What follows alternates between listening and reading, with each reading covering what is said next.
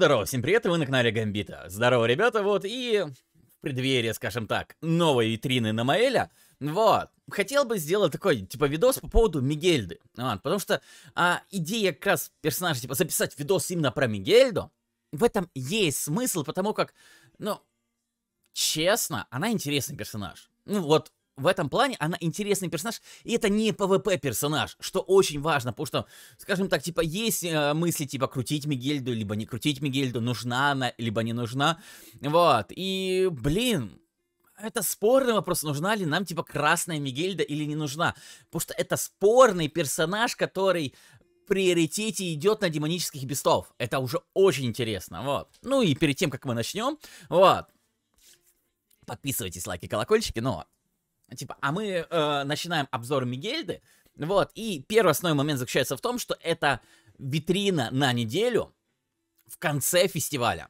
Вот, и нужно просто банально понимать, что ну, еще парочка каких-то проходных витрин у нас будут, по идее, это как коллаб. Разрабы обещали в патчноутах. По прошлым годам, типа, у нас коллаб выходил в конце апреля. То есть середина, конец апреля можно уже вполне спокойно ждать коллаб. И даже зная разрабов, мы можем ждать коллаб сразу после фестиваля. Так что, если что, Просто знайте это и живите с этим, если вы, конечно, хотите покрутить коллаб, потому что следующий фестиваль будет в конце мая уже. То есть к маю, если вы хотите скипнуть коллаб, к концу мая у вас есть время накопить гемы. И вопрос, крутить Мигельду красную или нет? Она делает что-то полезное. Первым скиллом это Солтарит урон и истощение шкалы суперприемов. А второй скилл это баф, который типа снимает дебафы, на второй ранг накладывает бафы сопротивления, плюс 30% сопротивления. Вот, и так же самое, типа, третий, ну, блин, просто, типа, баф на сопротивление, так же самое, типа, как у синий Элат, если вы знаете такого персонажа, вот и у нее такой же самый скилл, то есть это просто Элат. Вот ультимейт от э, силового удара 360%, тебе при прокачке 945. Реликвия старой Мигельды при э, реликвия Мигельды, но при этом пассивка. Мне понравилась ей, вот реально что? Мне понравилась ее пассивка. Типа на демонических бестах. Кстати, интересно то, что нет а, указания, что на одном. Походу, на всех. Просто реально, по идее, как она должна работать на всех. Э, бестах, типа. Когда, типа, герой использует скилл, то есть Мигельда использует скилл, увеличить союзникам, связанные с ХП, статы на 6% и так до 30%, то есть 5 скиллов скинули, типа, Мигельда, и все, типа, пожалуйста, у вас фуловый, а, фуловый стат этой пассивки. В принципе, логично. И увеличит ультимейт, ну, шкалу суперприема на 1. И такой, блин, а я вроде бы где-то это видел. Вот мне так кажется, что где-то такое я уже видел, да? Типа, увеличение стат за скидыванные карты. Ой, то, то на 10% и 4 раза, а там по 6% до 30%, то есть тут 40, там 30, вроде бы разница как бы, ну, большая, ну, типа 10%. Но все равно вроде бы что такое, типа, видел, но это с Коли и Хати, а здесь получается исключительно на всех бестов. Ну, потому что приписки нет, я не знаю, возможно, типа, это печатка, но здесь пока нет приписки, это интересно, вот. И когда герой, типа, снимает дебафы своим скиллом, вот, восстанавливает 20% от максимального хп. Тут интересно будет то, что, типа, возможно, вот эту приписку уберут с релика. Вот. Но у нас есть хил, у нас есть увеличение, связанное с э, хп-характеристиками. И возникает вопрос. А в чем проблема у этого персонажа? А я не знаю, зачем он. Вот честно, я не знаю. Вот зачем? Вот у меня, я теряюсь в догадках, типа, ладно, окей, я сейчас фармлю, скажем так, типа, всех бестов, ну, типа, вот нового беста, да, типа, через Фрейю. Но на Нитхёге э, вроде как очень плохие релики, типа, зачем? Ну ладно, их надо фармить. У меня просто непонимание стоит, и все. То есть у нас есть Фрея с реликом, которая, ладно, она по большей части идет для китов. То есть киты могут нормально, типа, сидеть, а, гриндить Нитхёга, типа, забирать все релики. Я как бы уже забрал все релики. Я, в принципе, все релики собрал в игре, которые только можно было собрать. Я, наконец-то, сделал, получил ачивку. Так чисто для себя. Вот. Но у меня команда как бы есть, Маэль, Фрея, типа, да. Мигель, да, она ж неизвестный персонаж. Она не будет играться с, с Маэлем. Она не будет играть... Она ломает половину релика э, Фрей. Типа, собирать команду с неизвестных, типа, вместо Эллаты ставить... Э, а где урон брать? Просто вопрос заключается в том, что Фрейя именно в этой команде, в этой пачке, она выступает не то как персонаж, который бафает команду на хп статы, она в принципе бафает типа все статы. Не все статы, все базовые статы вроде как. А не, все статы. Союзника на 4% каждый раз, когда типа наносит, а, типа, и так 5 раз. То есть 20% всех стат она апает на Нитхёге. И это хорошо. И плюс, помимо этого, за каждого, типа, союзника богини увеличивают сенс атак характеристик на 10%. У нас, типа, 4 союзника, там, типа, 30-40% она получает. И это урон. Маэль тоже очень сильно дамажит из-за своей пассивки, из-за того, что у нас идет все персонажи это архи, и он за всех архов получает 7% всех стат. То есть у нас есть Маэль, у нас есть э, Фрея. Да, они сделали такую идею, они сделали такую формацию под Нитхиога как раз, и она хорошо играет. Она реально он, очень стабильненько, хорошо играет, и если Маэль там пятый, пятый, либо шестой ультимейт, там вообще разрыв. Там просто разрыв. Я гриндил два этажа, вообще не чувствуя змеи. Я третий этаж прошел на этой неделе со второй попытки. Вот, чисто потому, как, ну, типа, на первой попытке мне плохо зашли карты. Ну, там, типа, был ужа ужасный кардров, и я, тебя пролетел. Но мы, нам уже дали формацию. Да, окей, хорошо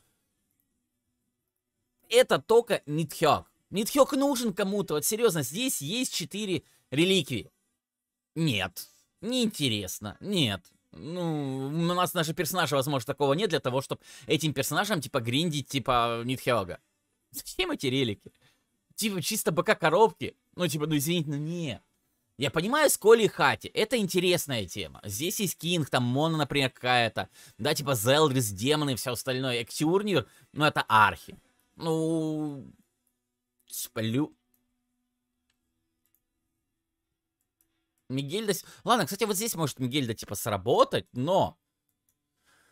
Ну, красная Мигельда может здесь сработать, потому что мы ее ставим на место, э, типа, синей Мигельды. И она работает, она так сам будет работать, и э, мы все равно будем получать стаки, мы будем получать лишние стаки, все, ну, ну, я не знаю, честно. Вот у меня на данный момент просто непонимание, куда. На Хресверга у нас есть Мигельда, синяя, которая офигенная. Эхтиурнир, у нас змея есть. Зачем нам ставить еще дополнительно сверху красную Мигель, для того, чтобы получать еще больше там типа жира, чтобы у нас было прям овер до хрена статов хпшных. Но у нас есть и так команды. Типа, олень это самый, один из самых простых бестов. Один из самых... Коли Хати здесь больше урон нужен, здесь тонар и урон. И у нас уже есть тонар, которая делает почти то же самое. Она делает то же самое. Только, ладно, у нее как, как бы типа и урона от карт нет. Просто типа, вот, эти вдвоем и два дамагера. Все, вол, волки отлетают. То есть, типа, Сколи и Хати, они э, проходят как раз на том моменте, когда у вас хватает DPS для урона. Хватает ДПС для урона, все отлично, с Коли Хати, типа, уже не проблема. Нитхиок пока непонятный. Да, дается дополнительные хп статы. Ну, блин, а, а где урон брать? Типа, там ввели новый сет карт, который, кстати, я еще не собрал пока что, потому что я последнюю карту еще не купил с магазина ПВП. Вот. Типа, связан с атак характеристик до 15% на демонических бестах. Типа, это очень сильный э, сет карт. Он лучше эт, ну, не, с оленем. Потому что олень дает 10% базовых характеристик, здесь 15% с атак характеристики. Это очень сильный сет. Это реально сильный сет. Вот, но если хватает выживалити, то есть, по идее, это как нам нужно выловить две карты с Коли Хади, собрать этот сет, после чего мы берем красную Мигельду, идем э, фармить змея. Чет не кажется, это, ну, блин, это, это, это настолько нелогично, непонятно. Я понимаю, что Мигельда, это, грубо говоря, это халявно. Это халявная замена Фрей. Потому что да, у Фрей, Фрейю мало, во-первых, мало кто крутил, во-вторых, мало кто крутил ее с хорошим ультимейтом, и третий, мало кто еще умудрился на нее, типа, сделать релик для того, чтобы нормально проходить Нитхёга. То есть нам нужно начать проходить Нитхёга для того, чтобы сделать релик на Фрей, для того, чтобы проходить Нитхёга. Мне кажется, логика сейчас вышла из чата. Как и пол половина зрителей, потому что не смотрят, такой, что ты несешь? Это они вводят так Мигельду, типа, халявную замену Фрейи, которая, по идее, как должно помочь гриндить Нитхёга, но все еще непонятно, зачем гриндить Нитхёга. То есть, Типа, ладно, этот персонаж, который, по идее-то как, должен помочь гриндить Нитхёга, мы отказываемся от Архангел Тима, потому что у нас будет неизвестный персонаж формации, который полностью ломает Имаэля, полностью ломает, типа, Фрею. Типа, мы от этих двоих персонажей отказываемся, будем играть Красной Мигельдой. Нам нужна какая-то формация под... Ну ладно, типа, Мела, Тмела можно вернуть. Ну, я не знаю, архи хорошища. Короче, вообще непонятно. Это получается, фр... типа, новая Мигельда. Это... Типа, Фрея для бедных. Типа, такого плана. У вас нет Фреи, у вас нет релика на Фрей. Вот вам Мигельда, короче. Вы можете гриндить Нитхега. Пока не знаю, будем ждать типа новые релики, возможно появится смысл больше уделять внимание Нитхёге, если здесь появятся хорошие релики, не вот эти вот. И Фрея, которая типа... Мне больно на это смотреть. Мне реально просто больно на это смотреть. Я не понимаю. Я, я в замешательстве. Но, возможно, сама по себе Мигельда-то неплохая. Я сейчас просто на нее накручиваю все остальное. Окей, хорошо. Баннер. Сигурд змея. Ладно, змея, старая Мигельда, можно присмотреться. Они уже профитно доказали свою ценность, скажем так. Сигурд нет, Скади нет, Капитан Мел больше, чем Фан нет, нет. Она и так падает, нет, он и так падает. Витрина тоже ни о чем. Единственное, что радует, это что это степ-баннер. То есть на 242 гема максимум вам обойдется красная Мигельда, если она вам будет нужна. Я попробую сделать видос, э, прокачать Мигельду быстренько в первые два дня выпустить, возможно, даже в первый день выпустить видос с красной Мигельдой, есть ли от нее смысл или нет, но я пока не вижу от нее толку, вообще не вижу толку, ну то есть, ну это, это Фрея для бедных, для змея, который никому не интересен. Все, вот так вот можно описать этого нового персонажа. И к тому же, если верить, типа, геймвизу, типа, тоже, типа, корейский либо японский сайт, я не знаю, BBCC, типа, S+, это, типа, ее валуев на бестах, да, типа, ее скиллы и все остальное. 82 по, б... по ХП, 65 по БК, 76 по обороне и 68 по атаке. Это просто полнейший средняк. Ну, то есть, даже если мы ее получим, типа, с реликвией со всем остальным, это просто посредственный перс в плане статов. То есть у нее нет статов. Нет чего такого, типа, выдающегося, значимого, все остальное. Вот, реально, типа, я кручу. Ну, типа, тот же самый Эсканор, да, типа, который хорош по а, атаке, БК, но очень хренов по обороне. То есть, да, у него, типа, все, типа, СС+. Вот, он 114 по обороне, второй по атаке, 16 по АЗ и первый по БК. Типа, это эска. Ну, типа, здесь понятно хотя бы к чему уклон был. То есть, та же самая Фрей, она сейчас занимает вообще второе место в этом всем а, списке всех персонажей в плане БК. А, вторая по БК, 17 по ХП, 36 по обороне и 4 по атаке. То есть, в принципе, крайне хороший, сбалансированный персонаж, который видно, что это новый персонаж. И нам выдают, выпускают новую Мигельду, которая даже в первую пятьдесятку ни почем не попала. Синяя Мигельда лучше даже старая синяя Мигельда, типа, она лучше. Ну, короче, я не знаю. Я вот серьезно, типа, в этом плане, типа, я Красную Мигельду вообще не понял. Если у нее еще был параллельно, типа, к вот этому, типа, дописанию, так, как, типа, был, типа, в сливах все остальное, Станар, которая делает все то же самое, типа, увеличивает хп-статы, а, заполняет ультимейт орбы, но еще как-то бы ранхапала карты, раз мы получаем не 40%, а 30%. Ранхаб карт для того, чтобы персу было проще собрать голдовую и выйти дальше на следующую фазу? Ну, нет. Нет. Нет. В сливах было лучше. Типа ранхаб тогда давал э, возможность очень быстро проходить змея.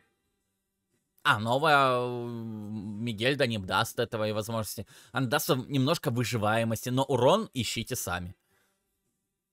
Ну, я не знаю, я разочарован. Вот честно скажу, это один из первых персонажей, от которого я разочарован. Потому что у нее есть интерес, есть Валуев, но от нее дамага так же самое, как от синей латы.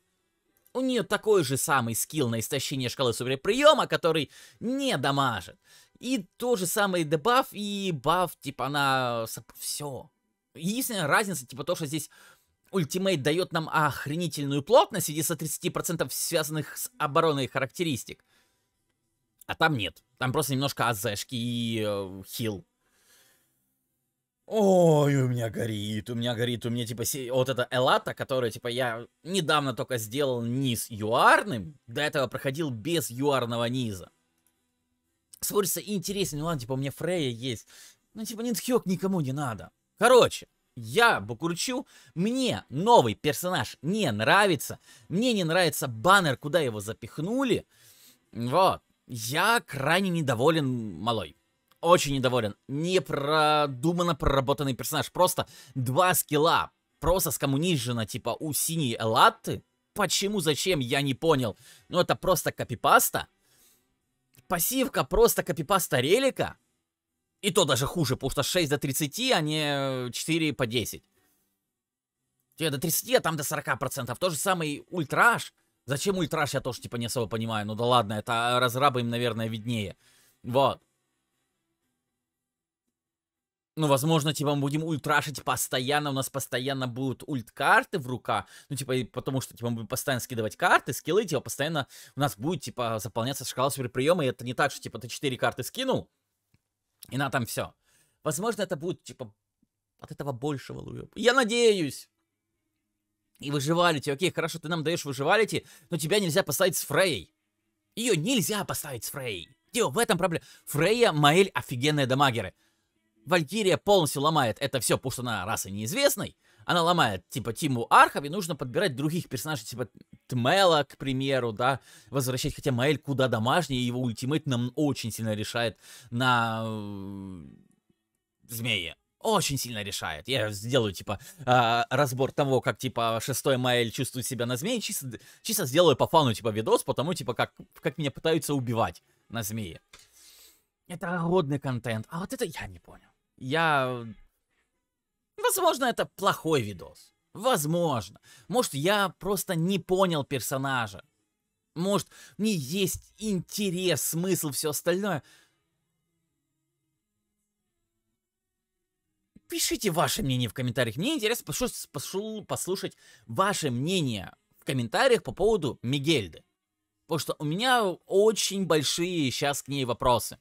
Типа, где искать урон, когда у нас в формации стоит Мигельда, у которой здесь нет урона, здесь нет урона, ультимейт первого уровня, серьезно, типа, получить одну копию с э, витрины, типа, там, первый, первые два мультика мы получаем за 31 гем. Это уже хорошо. Типа, выбить ее одну копию и забить, я, я расстроен. Пишите мне ваше в комментариях. Я послушаю, мне интересно будет, что вы скажете по этому поводу, потому что я пока разочарован. Очень разочарован. Вот, и, и у меня сломалась логика разрабов. Де-факто. Ну, то есть в голове у меня была какая-то логика разрабов, но сейчас этот персонаж, он просто скипно смотрится. Ну, ладно, может я мало видосиков про нее смотрел, и она, оказывается, очень крутая, и я не понимаю. Если вы такое что видели, тоже пишите в комментариях, типа мне будет интересно это почитать. Вот, ну а на этом все. Спасибо большое за внимание подписывайтесь, ставьте лайки, колокольчики, сделайте а, кнопку подписаться серой, вот. Ну, а с вами был Гамбит. Еще увидимся. До скорого.